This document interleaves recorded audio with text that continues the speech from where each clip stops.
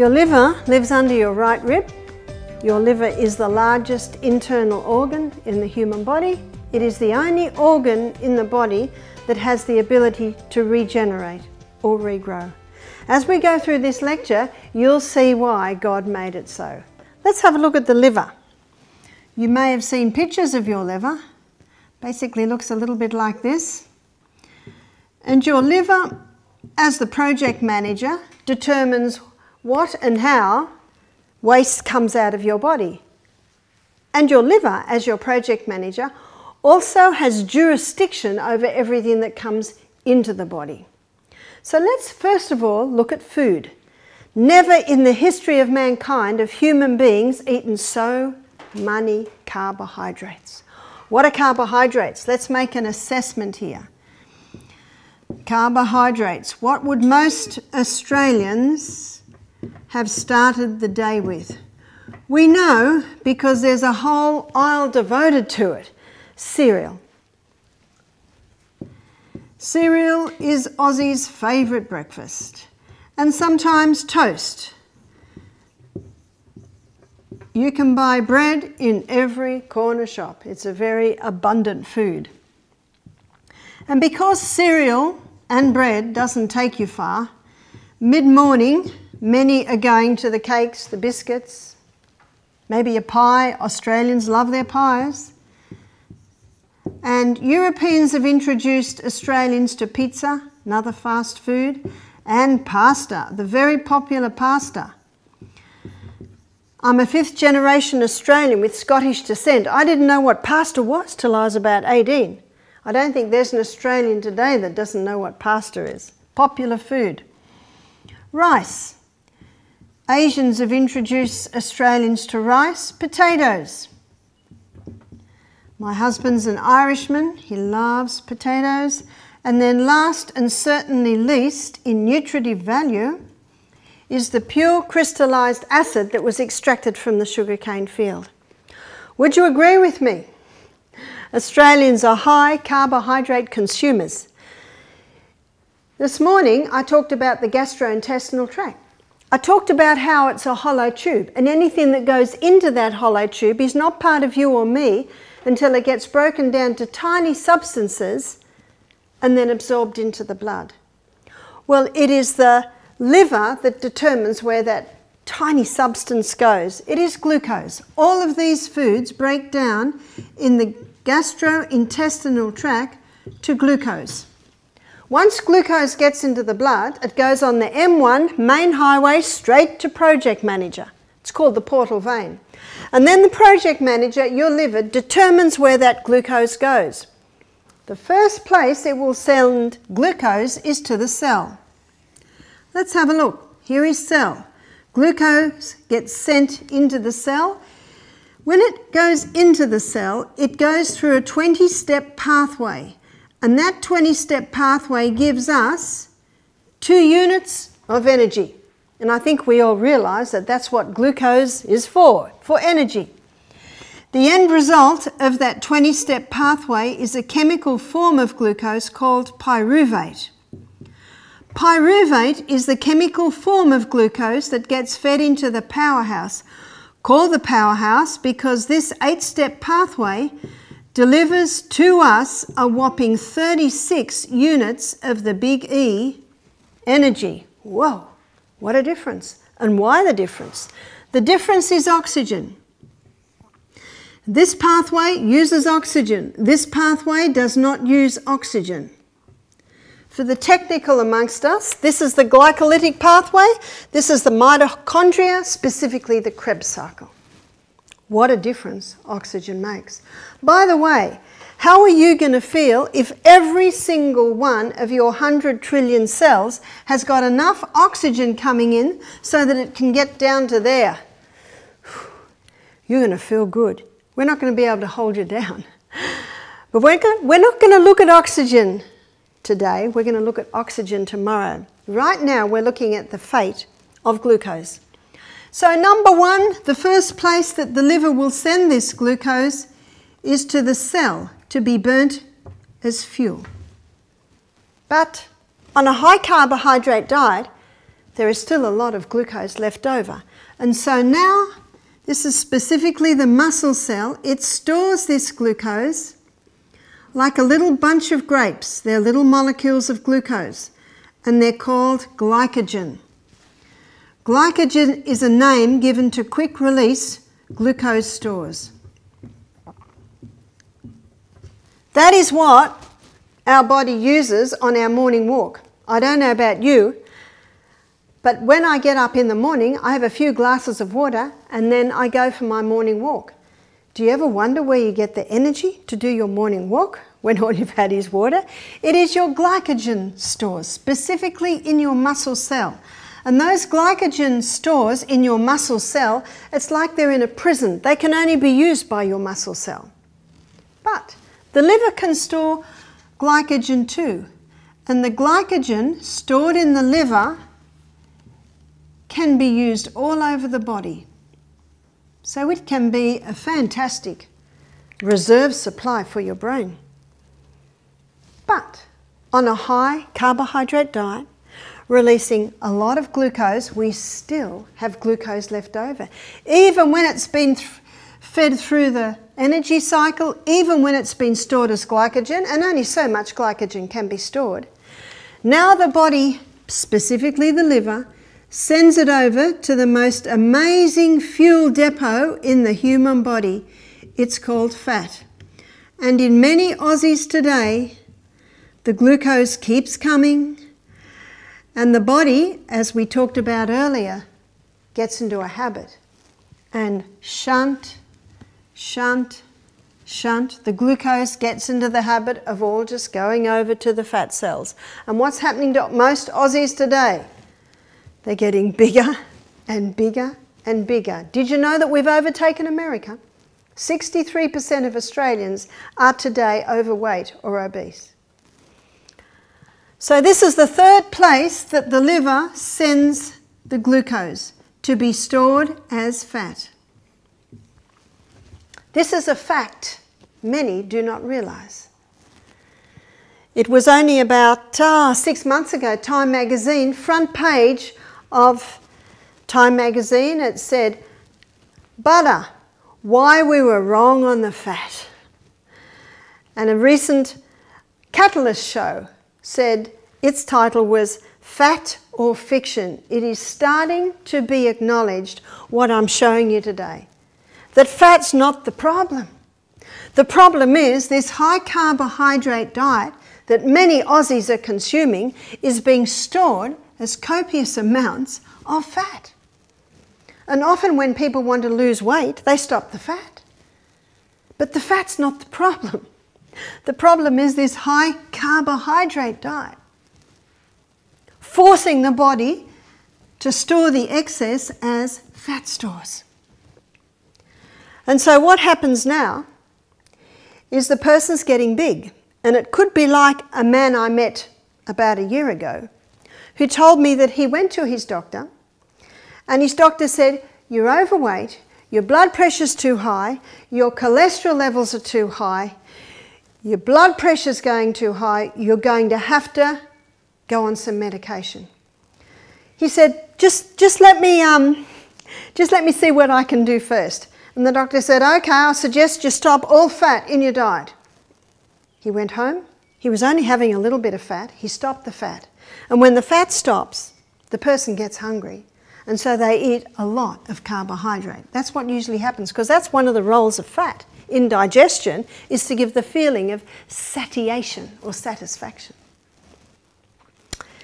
He said three months later he went back to the doctor, he'd lost one kilo. What does that mean when you're 150 kilos? Not much. doctor said, no, no, no, we're going to have to put you on medication. Lee said, nah, give me, give me another try. He said, I'm a business analyst, and if something doesn't work, you don't keep doing it. He said, so I went home and did a Google search I came up with the paleo diet. I came up with the GAP diet. I came up with Grain Brain. I came up with bodybuilding.com. He said, I came up with the FODMAP diet. I came up with Atkins diet.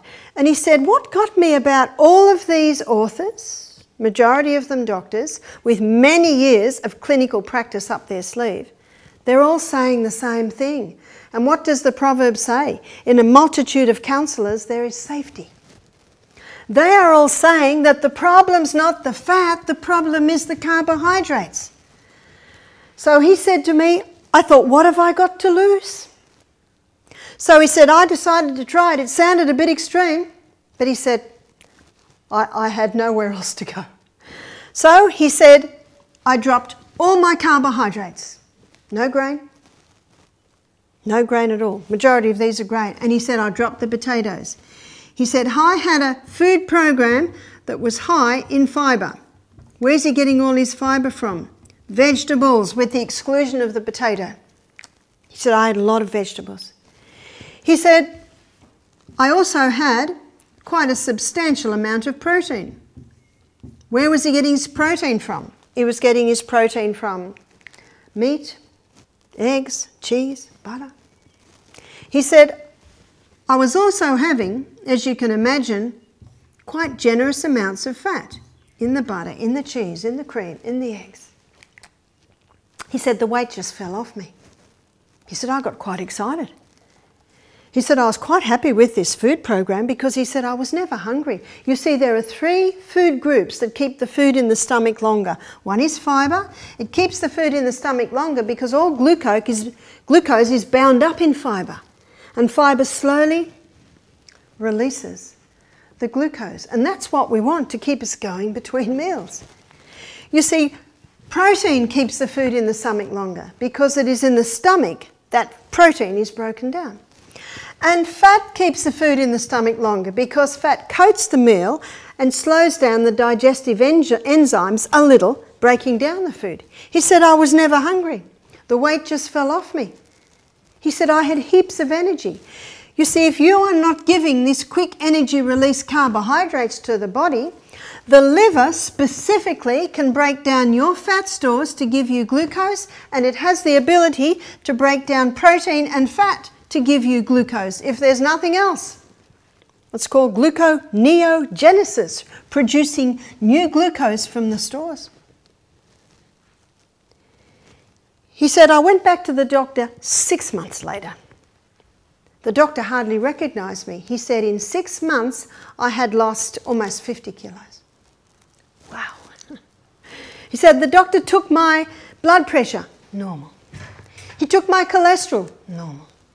He took my blood sugar, normal. Doc said, keep up that low fat diet, it's doing you well. Lee said, I decided not to tell him because I wanted to get this to its full, I wanted to see it fully through. But doctor did not even mention medication. He was balancing it really well. You see, these three food groups are the essential food groups. Essential because fibre is absolutely necessary for the colon to keep things moving. If things don't move, the body shuts down. It also helps to keep, it does house cleaning in the colon by sweeping out all the grooves. And it is the fibre content or the fibre part of most of your grains where you'll find your B vitamins, essential vitamins. Protein is essential. You see, 50% of the membrane around every cell in the body is protein. In our last lecture, we looked at the DNA, we looked at the crossword bands that are made up of amino acids, a breakdown from the protein that you eat. We looked at the new cell being made, made from amino acids, which is the breakdown from the protein that we eat. That's a pretty important part. In fact, you take all the water away, protein is the most abundant substance in the body. 50% of the membrane around every cell in the body is fat. Fat is an essential nutrient. This is true for every membrane, even the membrane around the nucleus, the membrane around the Krebs cycle, all 50% fat, except for the brain. The membrane around the brain cell is 70% fat. Whew, that makes it pretty important. Our sex hormones are, are a breakdown from the fat. Our, our, stress hormones are also a breakdown from fat. That makes fat pretty, pretty important. At a later date, I'm going to look at fats and I'm going to define fats because there are fats that are dangerous and there are fats that are healing. But because there are dangerous fats, sadly, all fats have been lumped into the one basket. But as the nutrition world is starting to see, and as all these authors I just quoted to you show, fat is essential. Your fat soluble vitamins cannot be accessed unless you're eating them with fat. The non essential might surprise you. The non essential food group is carbohydrates. Carbohydrates are not bad. What a relief. We certainly like these foods. Carbohydrates are not bad. Carbohydrates are not even dangerous. No, no, no. It's only when they are refined and overdone that the danger arises. Because with the refined carbohydrates and the overdone carbohydrates causing the body to store it as fat, this is fat build up on the internal organs. This is fat build up on the, on the inactive parts of the body. Because your carbohydrates are your non essential, and in the Catalyst program, fat or fiction, there was a professor there who said, Let me make it very, very clear you can live without it. But as the non essential, that's your negotiating part of your, of your food. Don't negotiate your fibre, protein, and fat, they're essential. It's the carbohydrates that are the negotiating part. And the negotiations change depending on your age, depending on your height, depending on your size, depending on your fitness, depending on your physical, mental output through the day. So the other part where negotiations is a very important part with carbohydrates is health status. Earlier we looked at how cancer cells feed on glucose. It's their favourite food. So if someone wanted to conquer cancer, that would be the first food group they would drastically drop. If someone wanted to lose weight, they would drastically drop. If someone wanted to conquer diabetes, drastically drop. And tomorrow I'm going to show you how this plays out in diabetes. If someone wanted to conquer a yeast presence in their body, drastically drop. And it's not forever. I've seen many people drastically drop it, get a turnaround in their cancer, and then little by little start to implement it again. It's not forever. It's just for a period of time to get a certain result out of the body. Now, with Lee, I did mention his protein was from animal sources and his fat from, was from animal sources. And I'm a vegetarian. You can do superior to animal protein and animal fat on a vegetarian diet. How? Let's have a look at this. I'm going to show you vegetarian protein here.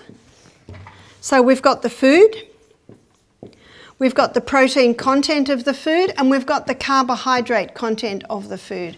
And we're going to go to Genesis 1:29, where God tells Adam and Eve the best food. And God said, Behold, I have given you every herb bearing seed which is upon the face of the earth. What's a herb bearing seed? That's a grain. And we have so many grains to choose from today. We've got wheat, rye, barley, oats, amaranth, buckwheat, millet, quinoa, so many grains. Grains are high in protein and they are quite high in carbohydrate. Let's go to our carbohydrate list and see how many are from the grain department. So we've got grain, grain, grain, grain, grain, grain, grain. So the majority on our carbohydrate list are from the grain department. No wonder they're high carbs. Another herb bearing seed is the legume. What's a legume? That's your lentil, chickpeas, lima beans, black eyed beans, cannelloni beans, kidney beans, soy, split peas, so many legumes. Legumes are high in carbohydrate and medium to low in carbohydrate. You will find most low carb advocates put the legume and the grain together, but they are not. The fact is, legumes are approximately a third the carbohydrate content that you will find in your grains. Another herb bearing seed is the seed. So that's your pumpkin seed, sesame seed, sunflower seed, chia seed, flaxseed or linseed. Seeds are high in protein and they are quite low in carbohydrate. And God said, Behold, I have given you every herb bearing seed which is upon the face of the earth, and every tree. In the which of the tree is a fruit bearing seed. What's a fruit bearing seed? That's your nut. So your nut comes from the fruit of a tree. We live on a wonderful part of the planet. We're the only country in the world that can afford to eat macadamia nuts. Beautiful nut. One lady said, Aren't they high in fat? I said, That's right. Isn't that good? Fat's an essential nutrient. One lady told me she was on a diet and she's allowed one macadamia nut a day. I said, I have 10 a meal. It's not the fat's not the problem. We've got walnuts, pecan nuts, Brazil nuts, hazelnuts, almonds, so many nuts. Nuts are high in protein and quite low in carbohydrate. So, my suggestion is with this information to ensure that you're getting your three essentials and to ensure you don't overdo your non essential, my suggestion is that you increase the legume, nut, seed part of the meal and decrease the grain part of the meal. That is an easy way to help get the balance on a vegetarian diet.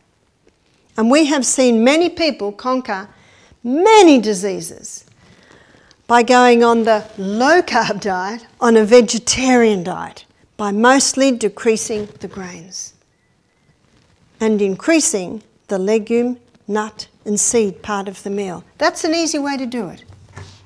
And you can do that very effectively on a vegetarian diet. Most vegetarians don't explore the wonderful legume.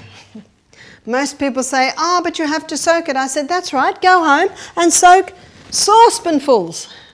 In the morning, rinse them. Cook them, rinse them again, bag them in little bags in your freezer. Then you've got a whole freezer full. All they're waiting for is a delicious sauce. That's easy. Most people stop the fat because of cholesterol. What I'd like to show you now is the truth about cholesterol. Cholesterol is made by the liver, and 80% of the cholesterol that the liver makes is made from glucose, and 20% of the cholesterol that the liver makes is made from fat. Looking at this equation, if you want to get your cholesterol levels down, what food group would you drop? Is not the fat. And this is one thing that Lee found when he was going, was on his high animal protein and fat diet, his cholesterol levels came down. Dr. Atkins showed in the 80s that dietary cholesterol has little or no effect on blood cholesterol levels. And was it about a year ago? Catalyst did a program on cholesterol. And it showed very clearly in there, well documented, that cholesterol is not the issue. Dr. Dwight Lundell, cardiovascular surgeon, has written an e-book called The Great Cholesterol Lie. He's done 10,000 bypasses and he's written a book showing cholesterol is not the issue. We have a book in our library by uh, Dr. Dingle, Dr. Peter Dingle, and it's called The Great Cholesterol Deception. What I want to show you now is the role that cholesterol plays in the blood. You've heard of high density lipoprotein and low density lipoprotein, LDL. We are told LDL is the bad cholesterol and HDL is the good one, but the body doesn't make anything bad. They just have different roles. HDL is the carrier. It carries away excess cholesterol. That's why it's seen as the good guy, and you can see that. LDL is the repairer and the rebuilder. Important to note this as I show you how they work together in the capillary maintenance. They're like the road workers in your body, the road workers of your blood system. Let's have a look at how they do it. Here's the blood, a blood vessel. And because of its low density, low density lipoprotein is always on the edge. Because of its high density, high density lipoprotein is found right in the middle. Now let's say the person's smoking cigarettes. The nicotine weakens the cells even to the point of a hole can be made in the blood vessel. Let's say the person smoking, well, we've said the smoking, breathing in from a mouldy pillow or mouldy carpet in the bedroom. The fungus in the blood can poke a hole in the blood vessel. Let's say the person's got a mouthful of mercury fillings. Mercury is a neurotoxin and it is also able to poke a hole in that blood vessel. Who's going to fix the hole up? Your repairer and your rebuilder, LDL, plugs up the hole. Now, what's supposed to happen? The suppo- person's supposed to get all their mercury fillings out and stop eating so much tuna and shark. The, the larger the fish, the higher the concentration of mercury. The person's supposed to uh, throw out their mouldy pillows or pull out their mouldy carpet in their bedroom and put tiles down. The person's supposed to stop smoking. And at the same time, they're supposed to be eating nourishing foods. Your vegetables are high in fibre, high in minerals, low in sugars. They're the healers. There's your high fibre. Protein. You need those building blocks to heal. Good fats to nourish that cell wall. So when a person gets rid of what's causing it and has nourishing food, then the body can heal the hole. And HDL comes along and picks up the excess and takes it away. That's how they work together in maintaining your blood network. But sadly, today, many people are unaware of the dangers of mercury. Many people don't realise what the cigarette smoke is doing to their, to their arteries. Many people don't realise the dangers of mould. And they're so busy that they just eat fast food that is very low in nourishment. And so, what's happening in the blood vessel? It's building up and up and up and up. And the arterial wall, it, it's, the artery is actually getting narrower and narrower. Called atherosclerosis. When I used to work in the operating theatre, we did a bypass one day, and the surgeon cut out the piece of artery that was all clogged. And then he got some tweezers and he started to pull what was clogging, and it was like, I never forget it, it was like gristle, like cream gristle. And they say, ah, cholesterol. But you know what we should be asking? Why is it there? Why is it there? And if the cholesterol levels are high, we have to ask, why is the liver making so much? It will only make it in accordance to the demands on the body. Is it because the body's being damaged for various reasons? Remember, he's the repairer and the rebuilder. And so the person is put on Lipitor or Crestor, which is cholesterol lowering medication, and that cholesterol lowering medication blocks the pathway in the liver that the liver uses to make cholesterol. That's how it gets the cholesterol levels down. But that same pathway is the pathway that the liver uses to make coenzyme Q10. Coenzyme Q10 is your heart protective enzyme. So a person can go on Crestor or Lipitor in the hope of preventing a heart attack and actually increase their susceptibility because they've now lost their heart protective enzyme. There's no need to go on that medication. A few more dangerous things that I want to tell you about Crestor and Lipitor, especially Lipitor. Lipitor, one of its side effects is, is uh, Alzheimer's, dementia. And I don't know anyone that wants to get that. Another side effect is muscle cramping and muscle wasting. No, the human body can heal itself and it will heal itself if you give it the right conditions, even to the point of balancing out cholesterol levels. So, we've made an assessment on what the liver does with the food that comes into it. Now I want to show you what it does to something else a little bit more sinister that comes in, and this is environmental toxins. We are all subject to environmental poisons. They come into the body, they go into the blood, they come up to the project manager, and the project manager often says, Oh, this is a nasty, nasty guy. Wrap him up in fat and store him. And so, all through our life, when these environmental poisons come in, these fat soluble toxins are stored in our fat cells. And then the person comes to Misty Mountain Health Retreat. And the person goes through a detox. They only have juices for a couple of days. Not enough glucose to run on. And so, what the liver does, it starts breaking down some of the fat stores to give glucose for those extra energy needs. But something a little bit more sinister gets released. And I think most people are aware that when they go on a detox, their breath isn't as nice as normal, the body odour's a little worse than normal, what they're releasing into the toilet is a little worse than normal. It's because of the release of these fat soluble toxins. When these fat soluble toxins are once again in the bloodstream, they once again come up to the liver. Now, if it can, the liver will break that down to a water soluble state. And that's what I want to show you now how the liver does that.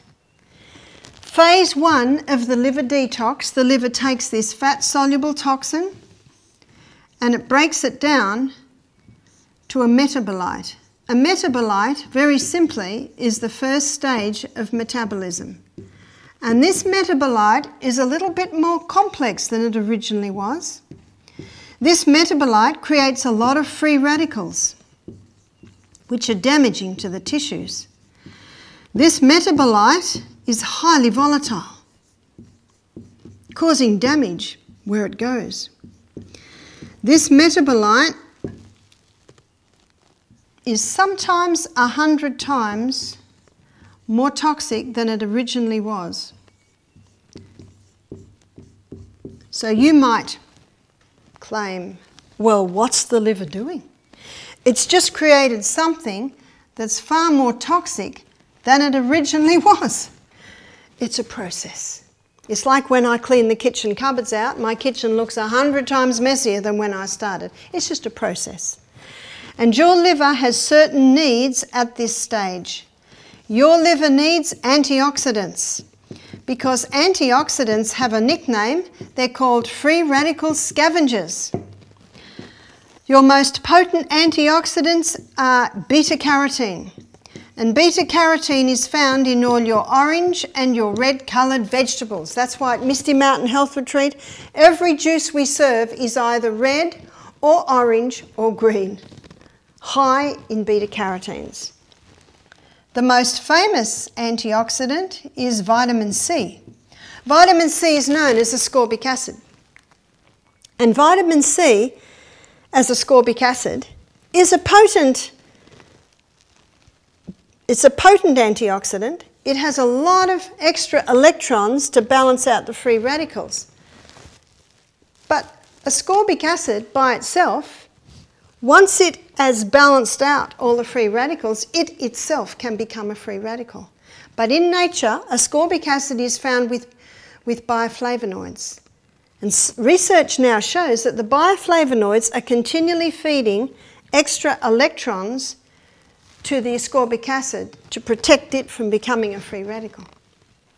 Bottom line is when you buy vitamin C, make sure your ascorbic acid has bioflavonoids with it.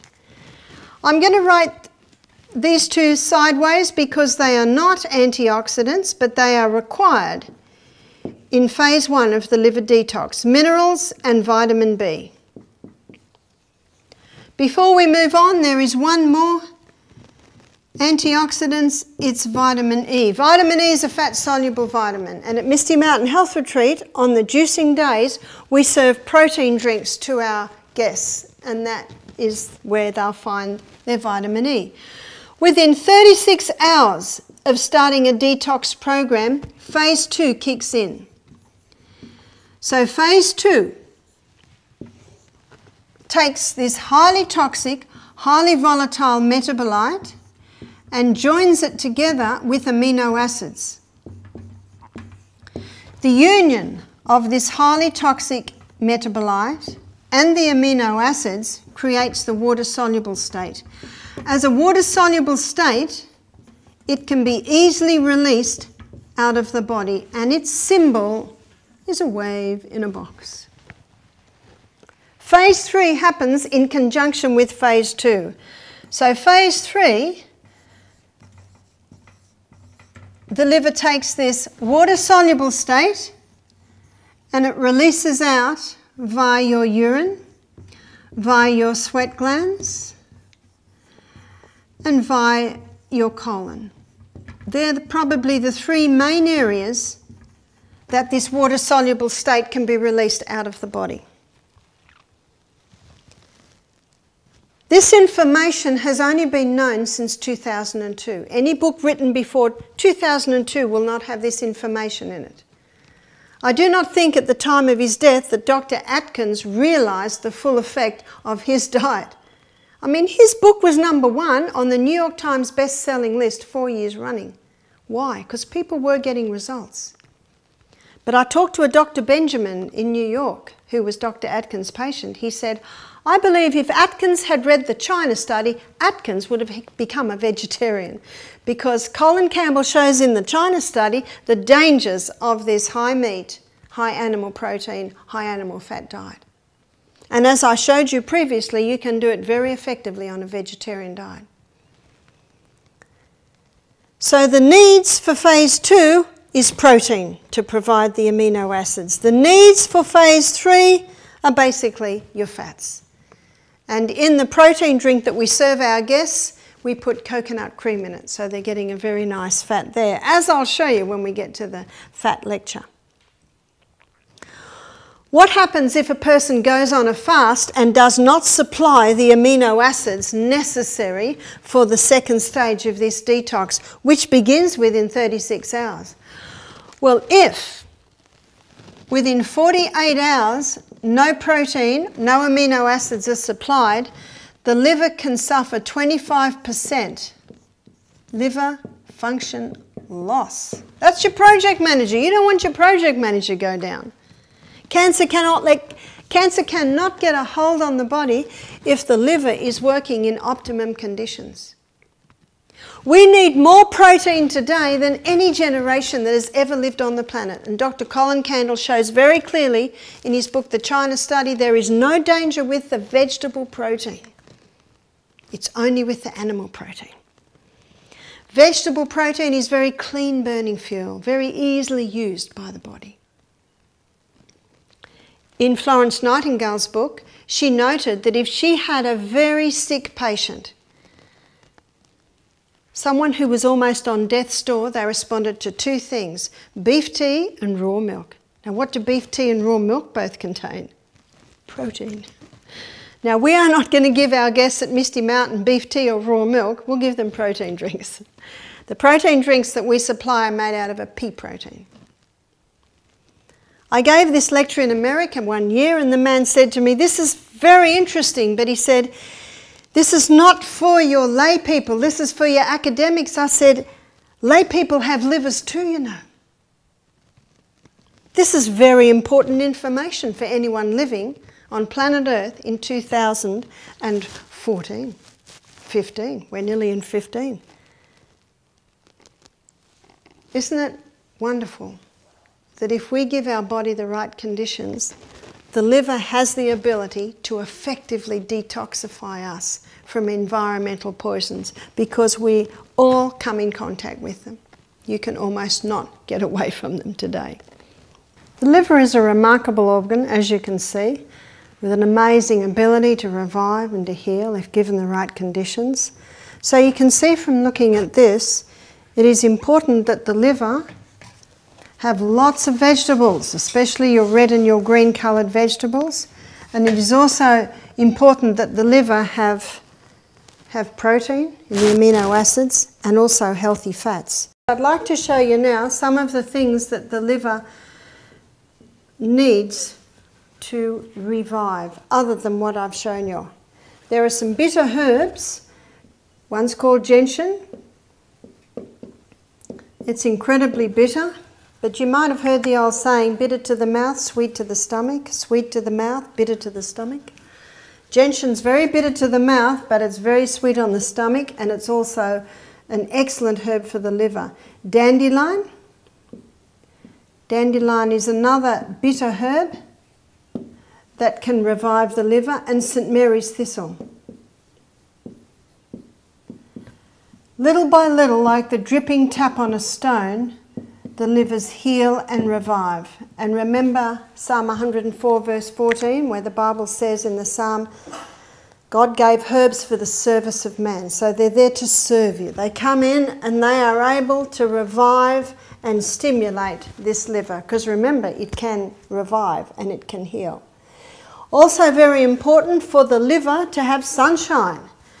Every day, the, the sun should get on the abdominal areas, specifically if a person has any liver problems. One lady said to me, What about if your gallbladder's gone? Hopefully, your gallbladder is not gone. But if your gallbladder is not gone, sorry, is gone, all is not lost because the gallbladder, which basically sits under the liver, a bit like this, into the bile duct, it is a reservoir for bile.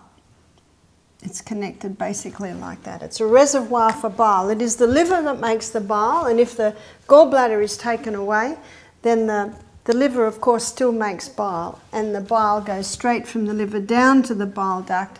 And the bile is probably one of the main enzymes that help in the breakdown of fats in the body. Some people think it's fat that causes gallstones. Gallstones are like little stones that seem to accumulate in the gallbladder, and if ever they start to pass, that's incredibly painful. Some think that gallstones because a person's on a high fat diet, but it is not so. You see, if a person goes on a no fat diet, the bile can literally stagnate in the gallbladder. So, a no fat diet is more dangerous to the liver than a high fat diet, though I am not advocating a high fat diet. Both can be dangerous. So the liver likes fat, not a lot. And one of the best way to get our fats is the food that we eat, like your nuts and your seeds, your avocados. All contain excellent forms of fat. And the only two fats that I advocate that a person be eating freely, and even then in very small amounts, is your olive oil and your coconut oil. Coconut oil specifically is excellent for the liver because it does not require bile. It's the only fat that does not require bile. Dandelion uh, stimulates the formation of bile, as does St Mary's thistle, as does gentian, because these bitter herbs all get a reaction from the liver. I talked about sun, putting the liver in sun, because the sun stimulates the blood supply to the liver. And if anyone has gallstones, or has a liver that's not working well, castor oil compresses can be placed on the liver area. Castor oil penetrates very, very deep into the body, and wherever it penetrates, it breaks up lumps, bumps, congestions, adhesions. Excellent for breaking up even uh, scar tissue. How do you make a castor oil compress? You would get a few layers of cloth, maybe like toweling, moisten it with castor oil, now that might take about half an hour for the oil to moisten through because castor oil is very thick and then you apply it to the liver area which again is under your right rib. Cover that with plastic and often your clothes will hold it in place. My suggestion is to wear it for four or five hours in the day, maybe five days a week. And little by little that castor oil can break up any adhesions, lumps, bumps, tumours, cysts on the liver and it can little by little start to break down stones in the gallbladder. This is, of course, in conjunction with giving the liver the right conditions in the food groups that I have previously talked about. The things that harm the liver the most are the stimulants. So, alcohol is one of the most dangerous substances to be taken into the liver, and it is alcohol that breaks down to something that's 100 times more toxic.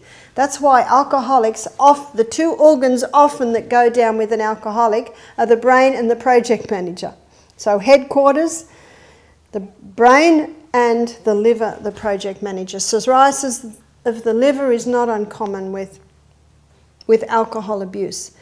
All drugs affect the liver. Remember, he's the master chemist. He's the sieve. Everything that goes into the body goes first through the liver. So the more toxic the substance is coming in, the more the liver is harmed by that. Also, constipation can harm the liver because when the colon's not working well, you get some fermentation happening, putrefaction that affects the blood, which again has to go to the liver, and the liver's the one that has to deal with that. So you can have a happy liver by giving it the right, right nutrients, by giving it some bitter herbs, by putting a castor oil compress on it, giving it some sunshine. Make sure that it rests every night. You know, one way that you rest the liver is to not eat at night. When you eat a large evening meal, when you go to sleep, your stomach still has to work and Putrefaction and fermentation happens because digestion is not happening as quickly. And again, any toxic waste that goes into the body has to be dealt with by the liver. You may have heard the old saying that we should have breakfast like a king, lunch like a queen, and tea like a pauper. It is true. Exercise, very important for the liver. Because when you exercise, you increase the blood supply to the liver. When you exercise, your torso moving, moves the liver, and as the liver's moved, it's strengthened and toned to perform its work. We talked about proper diet, dropping the carbs right down, increasing the fibre, protein, and fats. Use of water. The liver cannot function properly, it cannot detoxify you effectively unless you are well hydrated. Every single function in the body requires water. So it's vital that a person be having adequate water. We lose out of the body a day 1.5 litres via the urine, 0.5 of a litre via the colon, 0.3 of a litre via the skin, and 0.2 of a litre via the via the lungs. So very that's a two and a half litre loss a day, and that's not on a day like today, which is very very hot. So vital that we have enough water.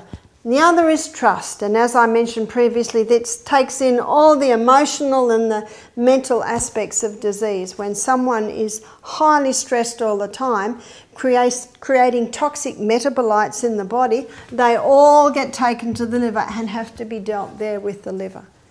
So be kind to your liver. Your liver has been designed to take you a long way through your life and you will enjoy life much better if you've got a happy liver because you're giving it the right conditions.